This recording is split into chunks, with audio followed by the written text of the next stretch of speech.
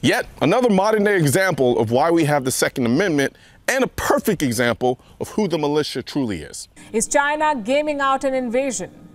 Well, Taiwan certainly is preparing for one. Its citizens are training themselves on how to use a gun. These pictures are from New Taipei. Last week, a training was held here. People from all walks of life participated. They, practices, they practiced how to use a gun. Remember, we saw something similar in Ukraine. Just before the war, civilians had picked up the gun. Many of them are now fighting the war. The people of Taiwan are taking inspiration from Ukraine. They say they want to be ready to fight if China invades.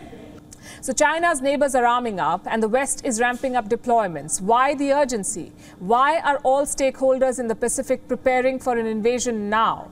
The US says it has reason to believe that China could invade Taiwan in this decade. You know, the other day I came across this dense tweet from Jon Cooper. Jon Cooper has 997,000 Twitter followers and is the former national finance chair of Draft Biden 2016, Long Island campaign chair for Barack Obama, and majority leader of Suffolk County legislator. And his tweet read this Why do conservatives always ignore the well regulated militia part of the Second Amendment? And my response was, why do people like you ignore the right of the people to keep and bear arms shall not be infringed part of the Second Amendment?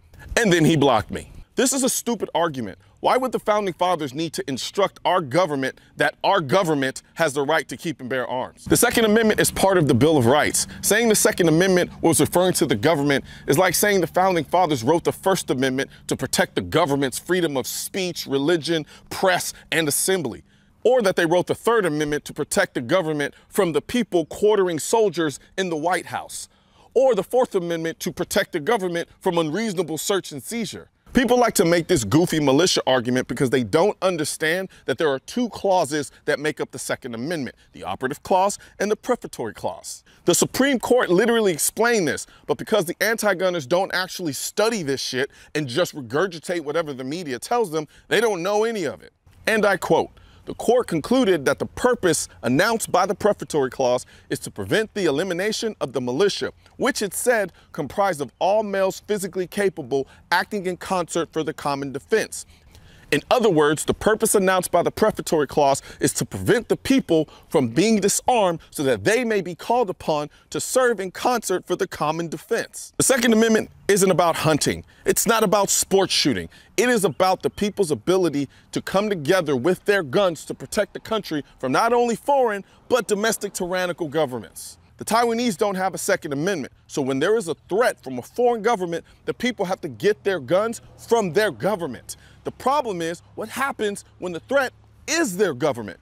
You really think a tyrannical Taiwanese government is going to give the guns to the people to fight back against the same Taiwanese tyrannical government? That's stupid. That's why the founding fathers wrote the Second Amendment. They knew any government can become tyrannical, even our own. That's why the Second Amendment, using modern English, says, as a result of needing a well-regulated, i.e. well-functioning and capable militia, which is the people, i.e. you, to protect this country, at no time will the people's ability to own arms be infringed by the government. And that's what the people of Taiwan are learning right now, just like the people of Ukraine. The people are the militia. You know, we talk a lot about empowerment in this country, except for when it comes to the Second Amendment. However, I can't think of anything more empowering than having the most effective tool to protect you and your family. So help me spread this message by liking and sharing this video with everyone you know. And don't forget to subscribe and leave a comment because the Second Amendment, when it said militia, it wasn't talking about the government. It was talking about you.